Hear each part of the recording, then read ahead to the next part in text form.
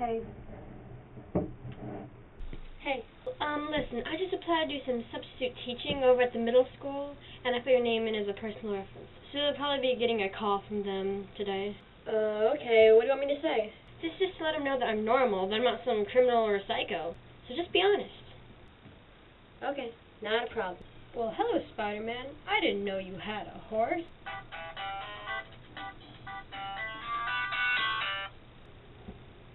School calling? Yeah, I think so. Hello, Miss McLaughlin speaking. Why are you using that voice? I'm trying to sound professional. Just sound like yourself. Be yourself. Y- yeah, this, this is Rhett. Um, since we were kids, I mean, I've known Link pretty much my entire life.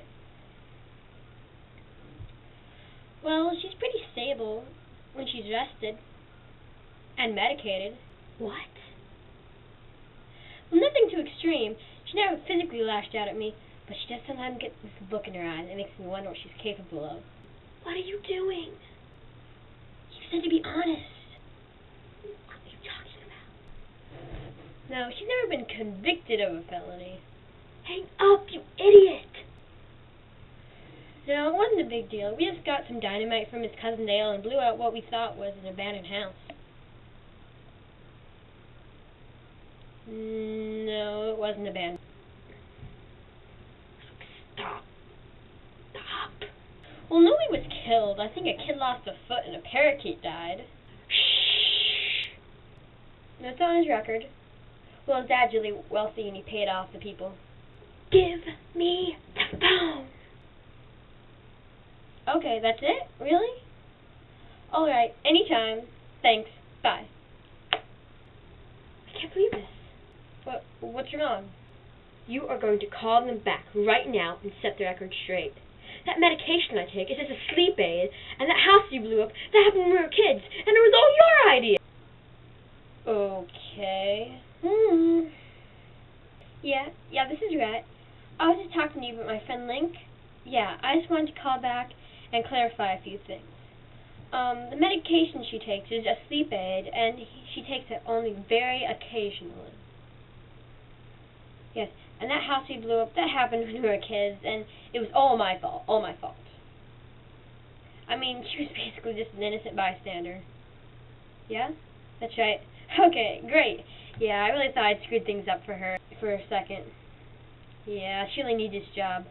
You know, she hasn't had steady work since her uncle was paying her to scratch the VIN numbers off stolen cars.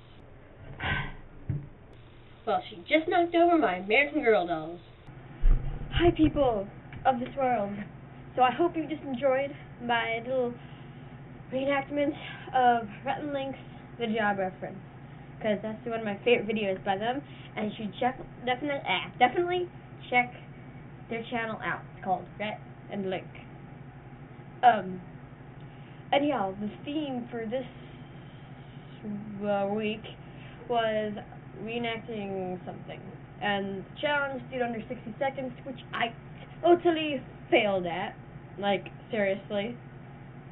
I think it's to end up being like two, three minutes long, so I'm sorry about that. I kind of lost the challenge. Oh, but I must tell you all something. So, I just got out of school, like, um, I'm homeschooled, and so I just finished school yesterday. So this is my first day with like no school. So I'm like so happy.